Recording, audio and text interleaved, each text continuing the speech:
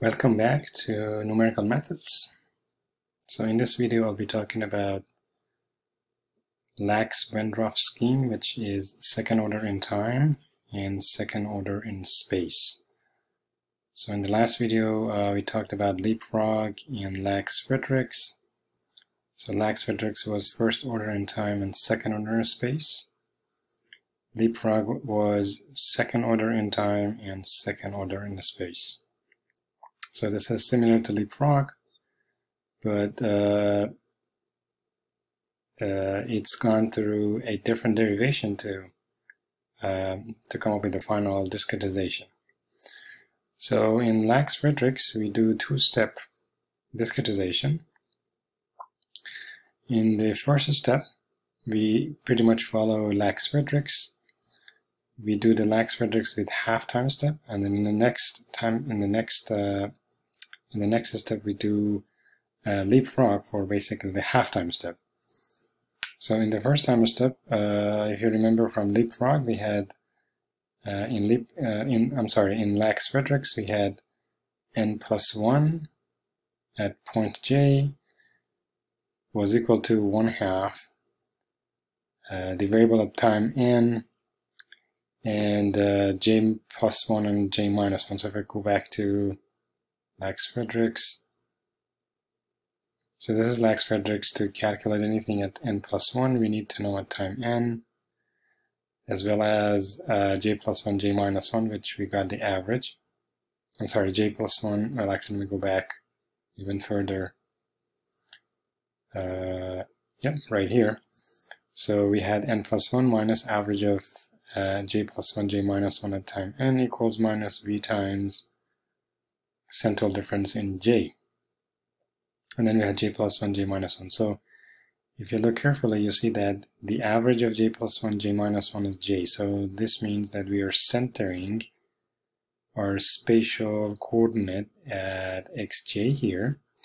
Again, the average of j plus 1, j minus 1 is j, so we center our x coordinate as j as well and this is J2. So if you look carefully, basically we're centering the x coordinate at point J, and then we center the time point at, if this is n plus 1, and this is n, so basically uh, we are putting the uh, the time point on the average of n and n plus 1, which is n plus 1 half. So let's go back to Lax-Wendroff. In Lax-Wendroff, instead of instead of centering the x point at xj, we're going to put it at uh, j plus half. So we're going to do half time step in delta x. So that means everywhere we had uh, j minus 1, we're going to replace j. So this used to be j minus 1, we're going to put j. This used to be j minus 1, we're going to put j. Such that the average of these two would be j plus half, the average of j plus 1 and j would be j plus half. And again, the left hand side used to be a time j plus 1 now we're going to have a j uh, j plus half. So uh, so this is basically a lax Friedrichs for x equal j plus half and uh, our, our time point would be n plus half. So we are stepping half time step forward and uh, half delta x forward as well. Now we're going to have another Lax-Friedrich step with uh, half time step forward, but then half delta x backward. So in that case, instead of j plus 1 and j, we're going to get j, j minus 1. And here, uh, j plus 1 minus j becomes uh, j, j minus 1. So we, we push back everything one unit such that uh, the center of these two would be j minus 1 half as opposed to j plus 1 half. So now we got two, uh, two, two variables, and n plus half, j plus half, and n plus half, j minus half. So this was done in Lax-Friedrich step. For half time step, for the next half time step, we're going to use leapfrog. And in leapfrog, remember it was n plus 1 and n minus 1 here, but now we have n plus 1 and n because we are stepping half time step forward, not just full time step. And so because of that, the time point for uh, these two terms used to be n, and now because of half time step, it has to be n plus half. And uh, the x, uh, the x index, so here used to be j plus 1 and j minus 1, but because of half time step, we're going to have j plus half and j minus half. So uh, these two variables we calculated already in the first time step. So we're going to plug in these two into here. And we're going to get the final equation, which is Lax-Wendroff. So in Lax-Wendroff again, we do half time step. In the first half time step, we use Lax-Friedrichs. In the next half time step, we use Leapfrog with the variables we calculated in the first time step. So pictorially, you can think of this uh, space-time coordinates. So initially we start at time n, we're going to use these three points at j minus 1, j, and j plus 1. So using these three with one half with, with half time step using Lax-Friedrichs, we're going to calculate these two red points, which is at j minus half, n plus half, and then j plus half, and plus half. So from here to here, is Lax-Friedrichs. Then we're going to use these two points together with the middle point down here, basically using these three points to calculate that point, which is leapfrog. So remember the leapfrog, we had two staggered grid, and now you can see that why it goes in a, in a diagonal fashion. So we're going to use now these, these two that we calculated using first step plus this one to get that one.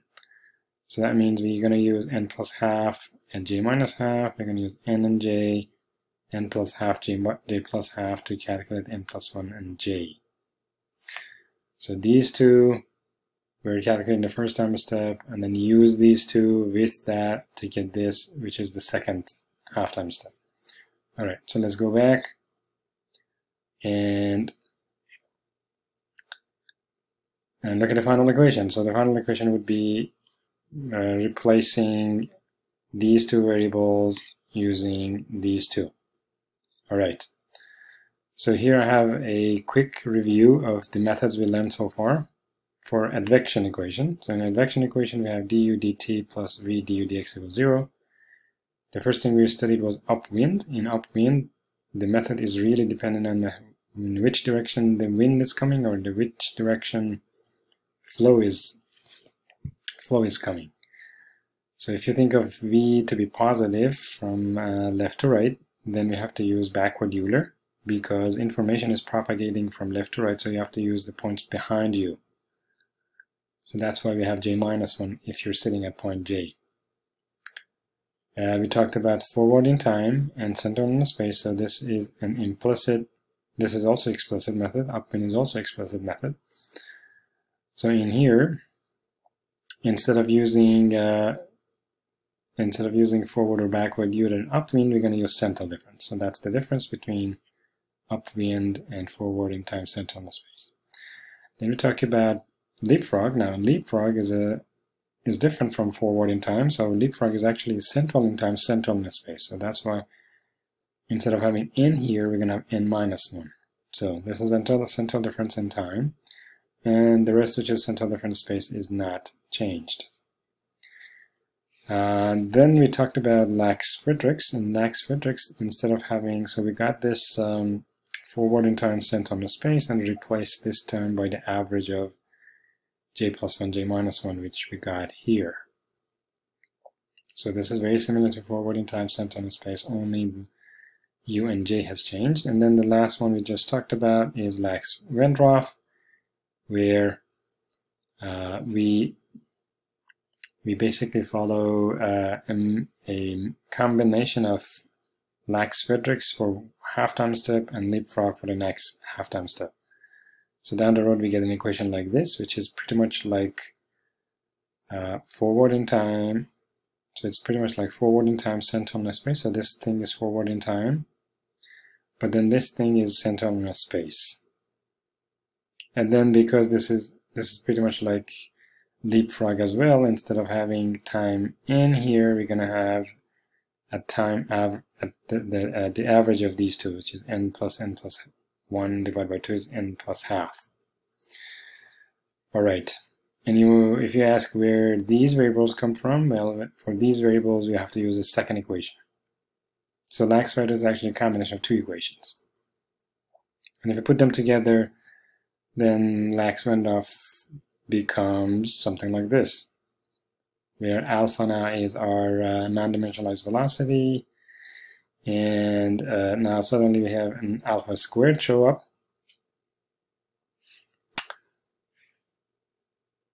So to calculate any variable at time n plus 1, we need at time n uh, j and then nj plus 1 and nj minus 1.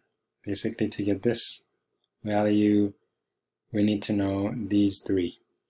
So with these three we're going to calculate that one. So that is the difference between this method and uh, and leapfrog is leapfrog if you remember we had two two grids two grid points uh, which they didn't uh, they didn't crosstalk, but this time actually we don't have two grids. So we're going to use three points to calculate that one, and doesn't show like a diamond flow of um, flow of information. So now here we have basically you have to use these three to calculate that as opposed to leapfrog which was using these three to calculate that one. All right, so before getting to the simulation, we want to we want to talk about uh, stability of uh, Lax-Wendroff. So to do the stability analysis, we use our von Neumann uh, technique. So in the von, in von Neumann uh, analysis uh, uh, for stability, we replace all generic variables at time n and xj uh, by c to n power and exponential of ikxc. So if we plug these into our Lax-Wendroff equation here and do the math and cancel common terms, we end up having c uh, to be 1 minus, you know, min minus i times alpha sine plus alpha squared cosine minus 1. Now we want the magnitude of this to be less than 1, so to get the magnitude we multiply this by its complex conjugate, which is this, then we go ahead and draw c squared as a function of alpha. So we're going to vary, so for a fixed delta x, we're going to vary k, which means our k delta x can vary between 0 to 2 pi. Other than that, this becomes periodic, so it doesn't make uh, any difference if you just uh, focus uh, focus uh, on uh, k delta x between 0 and 2 pi. All right, for that k delta x, we're going to change alpha and see how c squared changes. So I'm going to show you the MATLAB script for stability analysis. So here's the MATLAB script. And what I did was uh, I changed alpha from 0.8 to 1 to 1.2. I calculate the x and y component of c. This is the x component of c, if you remember. That is the y component of c. And then my c is going to be the x plus i, which is imaginary number times the y. So this is my z, and I'm going to get the magnitude of z. So the magnitude of z would be the x squared plus y squared. So now I'm going to change alpha and then see how my magnitude changes. So this is the result you get. Alright, so uh, my alpha goes from 0.8 to 1 to 2, from blue to red to black. And you see that for, for blue, the magnitude is always less than 1. So, yeah, so the magnitude never reaches to 1. For alpha equal 1, we, we basically, uh,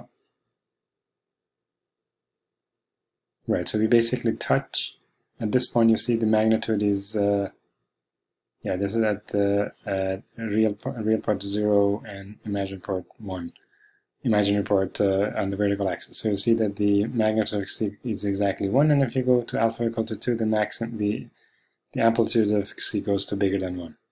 So the limit is alpha should be less than or equal to 1. So this is the stability analysis for Lax-Wendroff. Alright, so in the next video I'm going to show you some example uh, of using Lax-Wendroff to solve advection equation. So stay tuned and thanks for watching.